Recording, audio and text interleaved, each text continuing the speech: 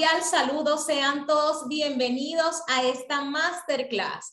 Hablemos de Well Aging, un evento organizado especialmente para ustedes, Centro de Empoderamiento y Liderazgo, Florida Global University y Biogroup International, esperando que esto sea una experiencia que cultive aún más sus conocimientos. De este lado, Ibrin Escalona, CEO de Biogroup International, profesional de cosmetología y cosmiatría avanzada y master trainer con más de 10 años de experiencia. Les comento todo esto para que tengan el conocimiento del perfil del profesional que estará compartiendo con ustedes anécdotas y muchísima información de interés, esperando nuevamente que esto sea de mucho conocimiento para ustedes. Hablemos de Well Aging, una nueva tendencia que ha causado revolución en todo el mundo, nuevo concepto y por lo tanto nuevos protocolos de los cuales estaremos conversando hoy. Biogroup International tiene 10 años de trayectoria nacional e internacional, tenemos más de 5.000 alumnos formados y somos una academia que a su vez cuenta con una unidad de atención al paciente. Tenemos un spa médico donde aplicamos todos los protocolos actualizados, altamente efectivos, y esto marca un punto de diferenciación porque no solamente enseñamos desde la ciencia, sino desde la experiencia que vivimos día a día con cada uno de nuestros pacientes.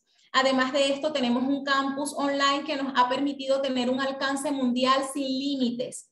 Nuestros alumnos pueden visualizar a través de nuestra plataforma clases magistrales con videos demostrativos paso a paso sobre pacientes de una forma bien didáctica para que ustedes puedan aplicar todos estos procedimientos de forma segura y efectiva. Contamos también con el respaldo universitario de CEL y de la Florida Global University, que pues realmente es un respaldo que les dará a ustedes credibilidad en todo el mundo. La Florida Global University respalda y avala todos nuestros programas de entrenamiento pues nada, ya están listos porque yo ya estoy preparada.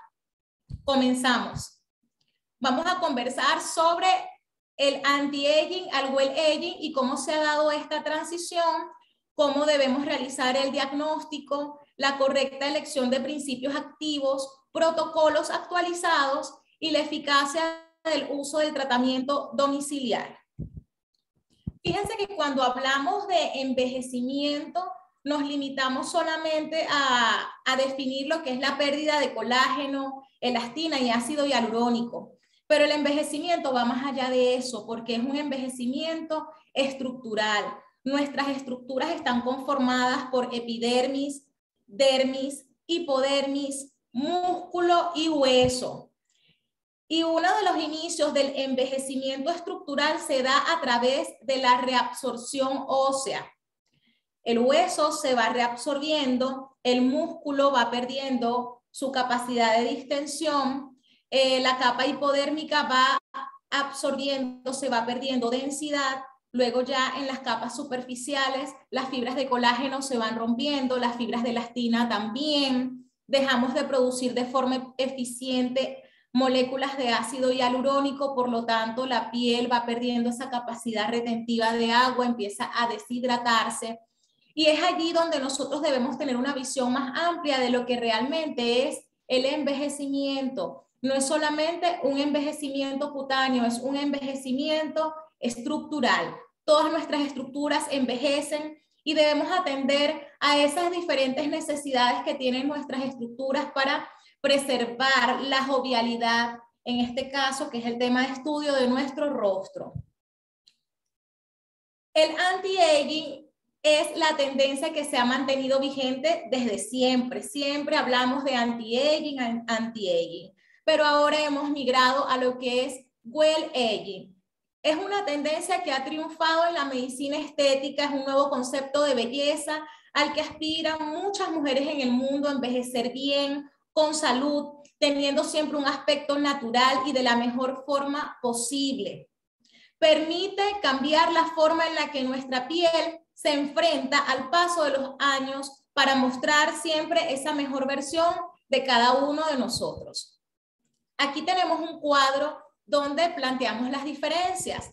El anti-aging es un concepto clásico de rejuvenecimiento que nos ofrecía promesas de transformación de rostros, de eliminar, de revertir signos de edad, dando lugar pues a una apariencia un poco natural e incongruente con nuestra edad cronológica. El well aging es una, una versión completamente diferente porque podemos preservarnos sin ocultar nuestra edad cronológica, como optimizando el estado de la piel, previniendo arrugas, hiperpigmentaciones y preservando nuestras estructuras faciales, manteniendo siempre nuestros rasgos y dando lugar a resultados armónicos y naturales al 100%. Esa es la idea para no vernos artificial. Y es lo que realmente buscan los pacientes. Algo así como que, qué linda te ves, te veo diferente, pero que no logren definir qué es lo que hicimos allí en ese rostro. Ya basta de trabajos, rostros acartonados, eh, perder gesticulación, facciones endurecidas que rompen con lo que es la armonía. ¿Y qué es belleza? Belleza es simetría y armonía. Y eso es realmente nuestra misión como especialistas de esta área. Con Well Aging prevenimos y tratamos. Tratamos de forma temprana la deshidratación, el tono, las ojeras, eh, los labios, entre otros. Y eso es una ventaja para ustedes como profesionales de la estética, porque podemos abordar de forma pausada los posibles problemas y de forma equilibrada de acuerdo al proceso natural de envejecimiento. Entonces, fíjense, hablamos de prevenir y tratar. Podemos prevenir el envejecimiento en mujeres jóvenes concientizando. Ahorita estamos viviendo tiempos donde cada día las mujeres buscan cuidarse y precisamente de eso se trata. Pero quien no se cuidó y ya envejeció, nosotros podemos tratarlo. No vamos a revertir al 100%, pero sí podemos mejorar muchísimo la apariencia de la piel, las arrugas, todos los inesteticismos podemos tratarlos bajo esta tendencia. ¿Qué podemos tratar? Arrugas, vamos a lograr una hidratación inmediata y lo mejor de todo, vamos a respetar la mímica y la dinámica facial, logrando efecto de tonicidad, promoviendo la producción endógena de colágeno y elastina. Cabe destacar que con el paso del tiempo nuestras células se vuelven perezosas y pues ese proceso natural regenerativo se va dando lentamente. Entonces, ¿qué buscamos? Utilizar principios activos para inducir a nuestro cuerpo a acelerarse, a regenerarse y rejuvenecer de forma natural. Más adelante vamos a conversar un poco sobre eh, esto a detalle. Como les hablaba anteriormente, se va dando un adelgazamiento a nivel muscular y pérdida de potencia de contracción. Y eso pues da lugar a la flacidez. La flacidez no solamente es ocasionada por eh, la pérdida de colágeno y elastina y caída de la piel, sino por la pérdida de potencia de contracción de los músculos, en este caso los músculos faciales. Pero este fenómeno pues no solamente ocurre en el rostro, sino que ocurre en todo nuestro cuerpo. Em, se va perdiendo, eh, en este caso es, seguimos hablando a nivel muscular, junto a los ligamentos, em, se va perdiendo esa capa hipodérmica, esa, esa capa grasa, que es nuestro tejido de, de sostén. Entonces, el músculo va perdiendo distensión y la hipodermis va perdiendo ese grosor y se da la caída de lo que es la dermis y la hipodermis. Ok, fíjense qué va sucediendo en materia de envejecimiento. El músculo se va aplanando, eh, se va dando un descenso del pómulo. Al caer en nuestro pómulo se van a hacer más prominentes los surcos nasogenianos. Uno de los grandes errores eh, de los profesionales estéticos es tratar directamente los surcos. Se van marcando los surcos, entonces aplicamos relleno en esta zona, relleno, relleno, ya basta de aplicar rellenos directamente en los surcos. Si, va si cae mi tejido de sostén, desciende el pómulo, se va a hacer más prominente el surco. Y si yo coloco una sustancia dentro de ese surco, entonces voy a aportar más peso y la caída del pómulo se va a dar de forma más acentuada. ¿Por qué? Porque estoy aportando peso a esta zona y el peso se va a traer ese tejido de sostén. Se van formando paquetes grasos eh, y se va perdiendo la definición mandibular, haciéndose más prominente las líneas de marioneta, también la cuenca ósea se va hundiendo, haciéndose más prominentes las ojeras. Y de esto se trata el envejecimiento. Los surcos no se dan por la caída de la piel. Los surcos se marcan porque cae el tejido de sostén y desciende el pómulo. Entonces es fundamental entender esto de primer momento. Se da un aplanamiento de hueso del arco cigomático. Al darse ese aplanamiento es donde en definitiva se va a marcar el surco nasogeniano, que es el surco nasogeniano es uno de los tratamientos más solicitados. Los pacientes quieren minimizar los surcos. Entonces, es muy importante que tengamos presente la causa y la recomendación para esto, más que nosotros colocar sustancias de relleno directamente en esta zona o sustancias de hidratación o sustancias que, de regeneración, es trabajar arriba, trabajar los pómulos. ¿Cómo deben ser los protocolos bajo este nuevo concepto well aging que no se trata más que de prevenir y de tratar? Debemos manejar cuatro fases. Fase preparativa, fase reparativa, fase regenerativa y correctiva. Vamos a analizar cada una de ellas por individual. En la fase preparativa nosotros buscamos remover células muertas y aportar a la piel la hidratación necesaria. ¿Para qué? Para lograr una penetración eficiente de principios activos. La fase preparativa es fundamental porque nos va a garantizar la durabilidad de los siguientes procedimientos. Ya basta de simplemente aplicar una asepsia y aplicar producto. No, es algo que tiene que ir más allá de una asepsia nosotros debemos remover las células muertas del estrato córneo epidérmico. Hay células que salen por sí solas, pero hay otras que debemos ayudarlas, como con tratamiento especializado, a través de la aplicación, el uso correcto de ácidos en bajas concentraciones. Más adelante vamos a hablar de eso. Cuando nosotros removemos todas las células muertas del estrato córneo epidérmico, nosotros allí ya tenemos una piel lista para recibir todos los nutrientes. Y pues esto va a dar lugar a una piel bien luminosa, a un procedimiento donde realmente el paciente vea resultados inmediatos. Luego pasamos a la fase reparativa, donde ponemos a disposición de la piel nutrientes en cantidad y calidad suficiente para su regeneración y creamos un ecosistema para sintetizar y crear las proteínas adecuadas. La piel pues deja de producir, como les conversaba, les comentaba anteriormente, deja de producir y debemos inducir al cuerpo a regenerarse, pero a su vez debemos proporcionarle a nuestro rostro aminoácidos, minerales, vitaminas, todos esos nutrientes que necesita para reponerse. Y es allí donde nosotros logramos el ecosistema para poder sintetizar, para que el cuerpo pueda por sí solo crear colágeno a millón, elastina y ácido hialurónico. Luego de esta fase, nosotros entramos en materia con la fase regenerativa, donde aportamos a la piel vitalidad y bioestimulación celular. Y luego pasamos a la fase correctiva, donde atendemos a inesteticismo. Recuerden que a nivel estético nosotros siempre atendemos pieles sanas. ¿Cuáles serían los inesteticismos? Arrugas, flacidez, cicatrices posacnéicas, hiperpigmentaciones, fotoenvejecimiento, deshidratación, rosácea, melasma. Todo esto son inesteticismos que debemos atender en la fase correctiva. Y uno de los grandes errores que cometemos es que llega a la cabina un paciente con melasma y nos vamos directo, una exfoliación, una limpieza profunda y procedemos a aplicar eh, principios activos para atender el melasma. Esto no se debe seguir trabajando así.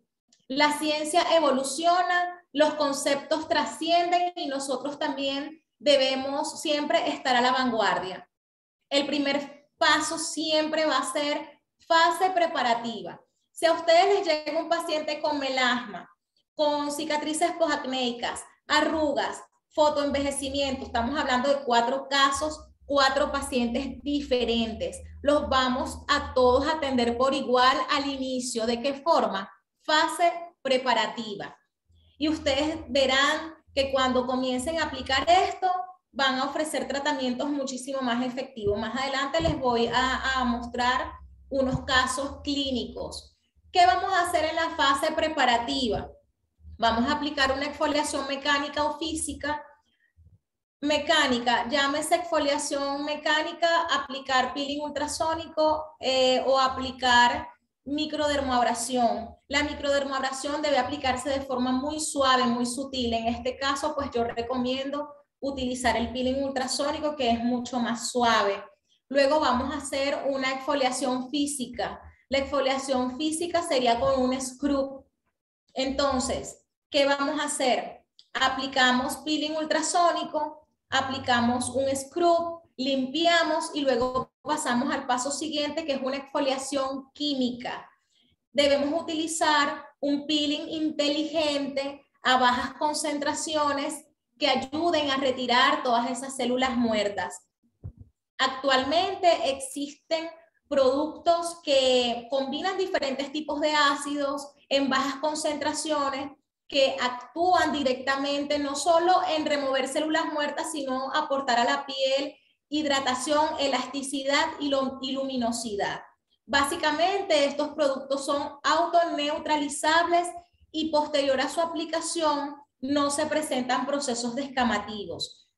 Luego procedemos a aplicar principios activos, bien sea con electroporador, con eh, equipo Dermapen, para quienes están facultados para inyectar, pueden aplicarlo con la técnica de mesoterapia convencional. Entonces, fíjense, se preguntarán en este momento, ¿voy a hacer todo esto en la misma sesión o le aplico el peeling y lo mando a su casa y que regrese en un par de días? No, todo esto se hace en la misma sesión. Paso uno, exfoliamos con el peeling ultrasónico o eh, microdermabrasión. Exfoliamos, podemos aplicar un scrub. No es tan necesario en este caso el scrub. El paso número tres, realizamos una exfoliación química con una exfoliación, em, una combinación de ácidos en baja concentración y luego procedemos a hacer asepsia. En mi caso utilizo la clorexidina y entonces allí aplicamos los principios activos. ¿Cuáles principios activos voy a utilizar?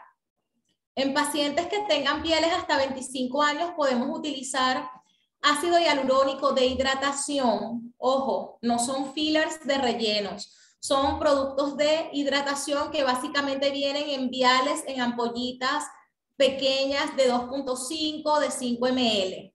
En pieles entre 25 a 50 años podemos trabajar con hialurónico al 2%. ¿Por qué? Porque es una edad más avanzada y suponemos que requiere de mayor concentración de hialurónico porque está más deshidratada la piel. En pieles mayores a 50 años podemos utilizar hialurónico por encima del 3%, siempre de hidratación, y también podemos utilizar ácido desoxirribonucleico porque esto nos ayuda a restaurar la matriz extracelular y es bastante poderoso para las pieles maduras. Entonces, vamos a resumir. Peeling ultrasónico o microdermabrasión muy suave. Un scrub sutil, limpiamos, aplicamos esta combinación de ácidos, ojo, en baja concentración y posteriormente elegimos el principio activo. Recuerden que el envejecimiento debemos diagnosticarlo y la edad no es determinante.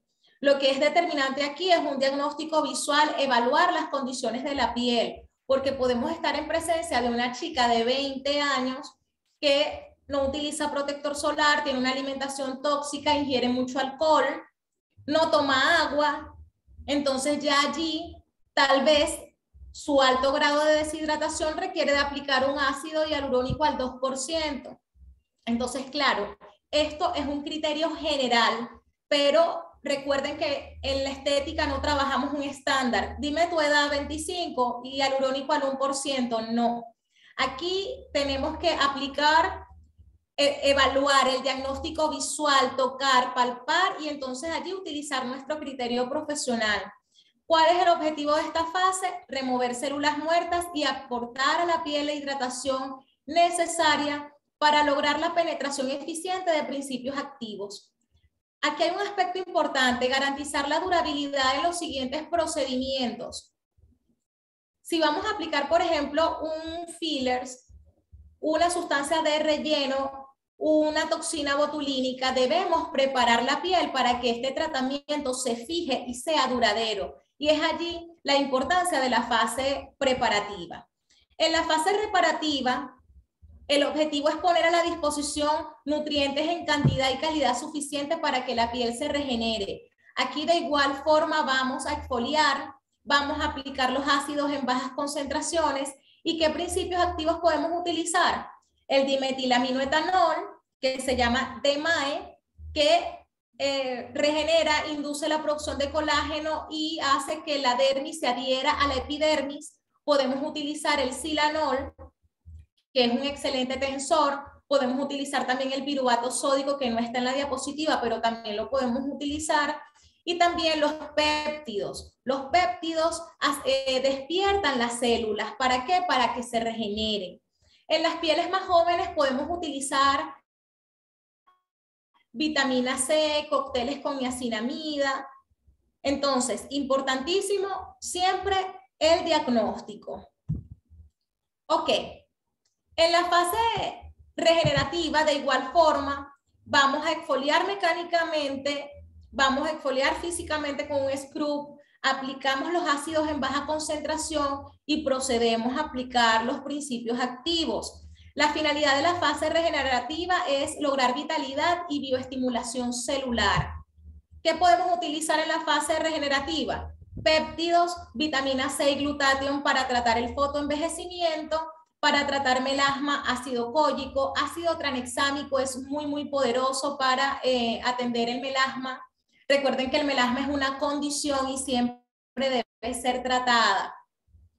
Para las ojeras, podemos utilizar meliloto rutina para el caso de bolsas y ojeras, para estimular el sistema linfático, para mejorar la circulación de la zona, para tratar acné, en este caso cicatrices posacnéicas, podemos trabajar con cócteles que contengan alfa-hidroxiácidos, beta-hidroxiácido y a su vez extractos de plantas naturales que ayuden a eh, mantener la piel fresca porque estamos utilizando alfa-hidroxiácidos y los beta-hidroxiácidos.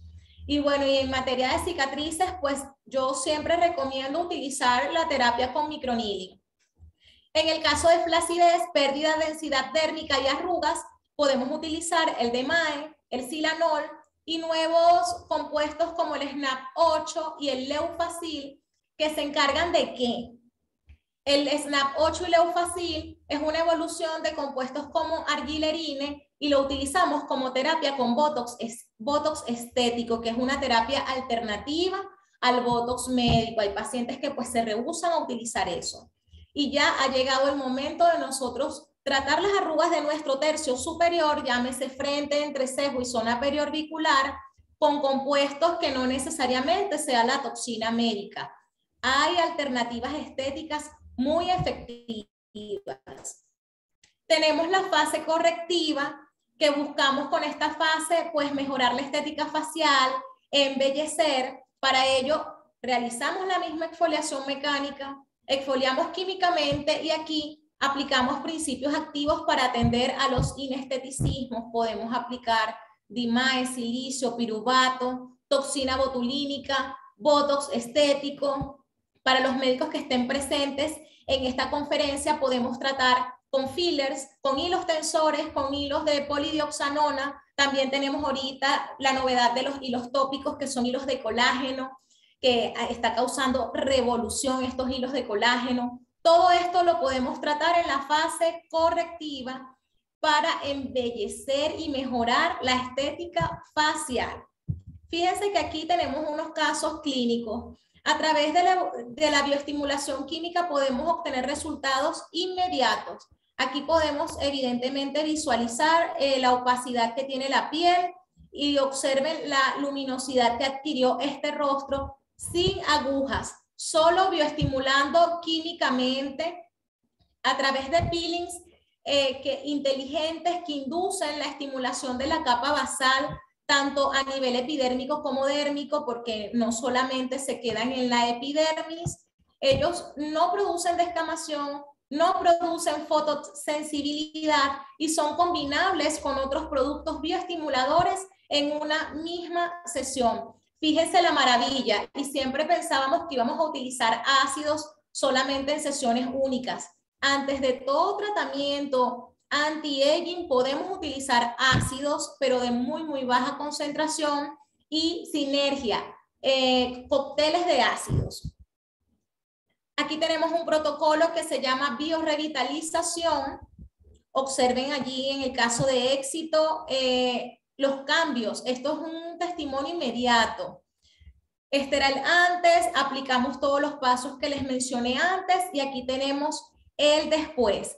Aquí creamos un ecosistema sano para estimular celularmente los fibroblastos para que a su vez produzcan sustancias importantes para la calidad de nuestra piel como colágeno, elastina y ácido hialurónico. ¿Qué debemos hacer nosotros bajo la tendencia well aging? Lograr la redensificación dérmica porque ese es el secreto de la juventud.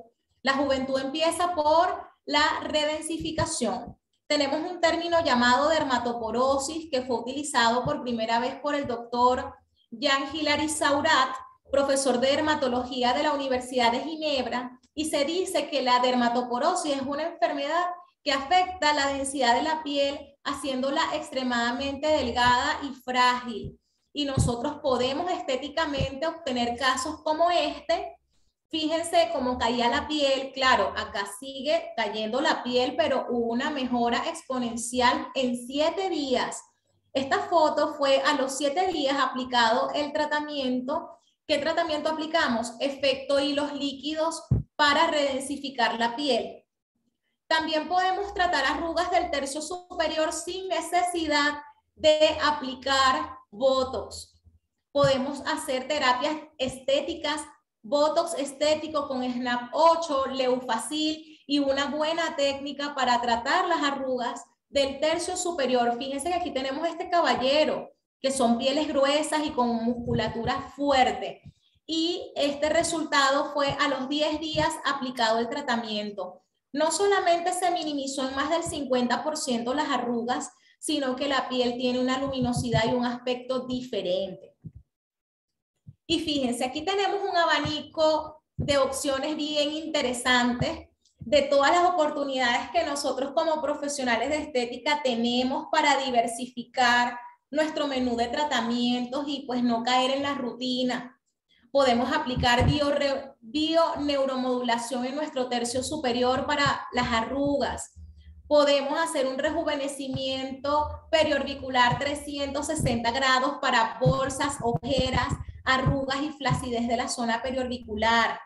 Podemos redensificar los surcos y minimizarlos con la técnica de efecto hilos líquidos. Y a su vez podemos hacer un lifting en todo nuestro tercio medio inferior y cuello con efecto y los líquidos, una alternativa estética eh, no similar, pero una alternativa estética de lifting, porque ahorita la tendencia pues es aplicarse los hilos tensores, pero si no está dentro de sus competencias realizar aplicaciones de hilos tensores, usted puede aplicar hilos, hilos líquidos para hacer un, un lifting y una redensificación del tercio medio inferior.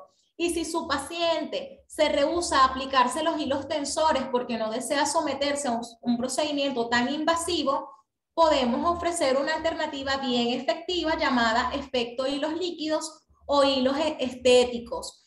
Podemos aplicar biolipólisis para tratar la grasa de la papada.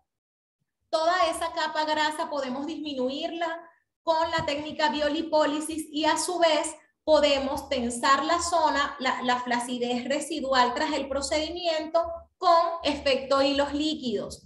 Podemos hacer un rejuvenecimiento de nuestro cuello con el neck lifting y también debemos hidratar los labios con biohidrolips, una técnica que no aporta volumen a los labios, pero sí mejora la coloración y a su vez hidrata los labios. Ahorita con, bueno, a nivel mundial, tras la pandemia, con el uso excesivo de tapabocas, es muchísima la deshidratación a nivel de los labios.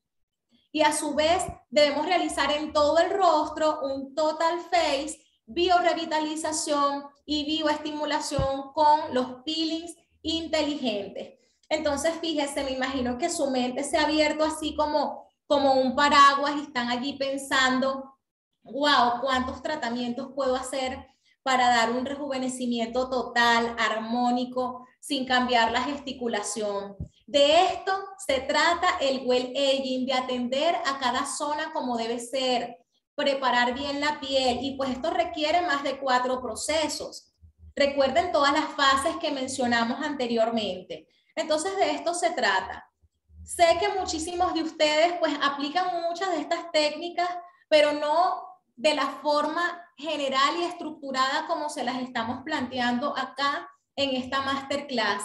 Es así que se debe hacer si ustedes desean resultados inmediatos, visibles, que a los siete días su paciente pueda tomarse una foto y, tener un cuadro comparativo, un testimonio de un antes y un después visible. Y pues de esto se trata, de actualizarnos, de tener cada día resultados más satisfactorios sin invadir tanto al paciente, preservando siempre sus gestos y sobre todo preservando la salud y creando un ecosistema sano en la piel.